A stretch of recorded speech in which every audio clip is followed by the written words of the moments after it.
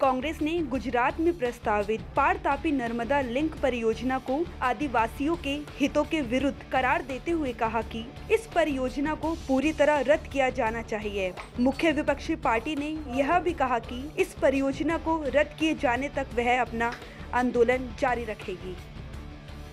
सरकार नहीं कह रही है। सरकार ने तो पहले कह दिया कि पार तापी नर्मदा लिंक हम बना रहे हैं, जिसमें कम से कम पचास हज़ार से ज़्यादा आदिवासी परिवार प्रभावित होंगे, जिसमें बहुत बड़ा जंगल हमारे पास सिर्फ़ साउथ गुजरात में अच्छा जंगल है, वो पूरा जंगल बर्बाद होगा। उस नुकसान को करने की बात भारत सरकार ने कह के vote bank politics, Kutch, Saurashtra और नॉर्थ गुजरात के लिए किया।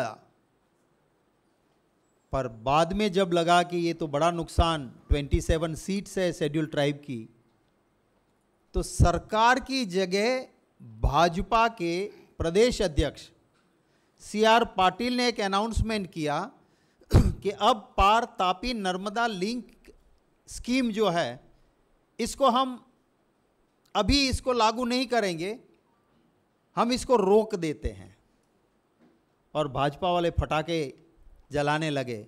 मेरा तो सवाल उनको ये है कि आपकी सरकार है, योजना डिक्लेयर आप करते हो पब्लिसिटी आप करते हो, और फिर उसी स्कीम को बंद करने की आप ही बात करके फटाके जलाते हो, वो किस बात का आप उत्सव मना रहे हो? तो हमारे कुछ सवाल भी हैं इस बात में। हमारे साथी इसके ऊपर आपके साथ विस्तार से बात करेंगे। मैं फिर से दोहराना चाहता हूँ कि डेवलपमेंट के खिलाफ कांग्रेस पार्टी कभी भी नहीं है।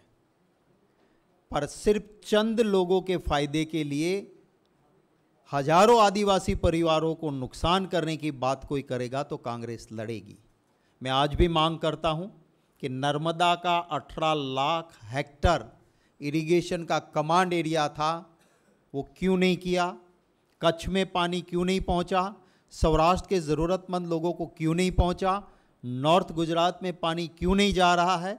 और इंडस्ट्रियलिस्ट को आप स्कीम में नहीं प्रावधान होते हुए भी क्यों पानी दे रहे हो?